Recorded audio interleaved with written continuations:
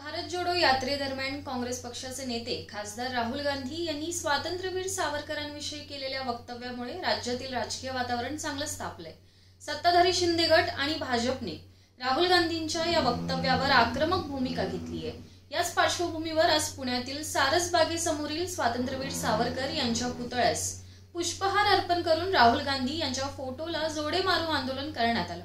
मात्र शिंदे गटातील एका महिला कार्यकर्त्याचा आंदोलनादरम्यान गोंधळ उडाल्याचं दिसून आलंय.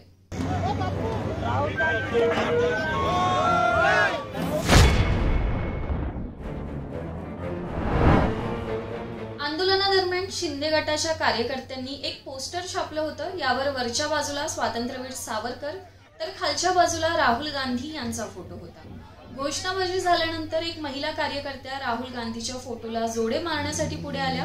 मात्र यावेळी नेमकं राहुल गांधी कोण आणि स्वातंत्र्यवीर सावरकर कोण यामध्ये मफलत झाल्यानं या महिला कार्यकर्त्यांनी सावरकरांचा फोटो असलेल्या दिशेस चप्पल उगारली मात्र एका पुरुष कार्यकर्त्याने प्रसंगावधान दाखवत वेळीच महिलेला हात पकडून रोखल्याने हा अनर्थ ठरला मात्र हा सर्व प्रकार कॅमेऱ्यामध्ये कैद झाला असून हा व्हिडिओ वेगाने व्हायरल होतोय.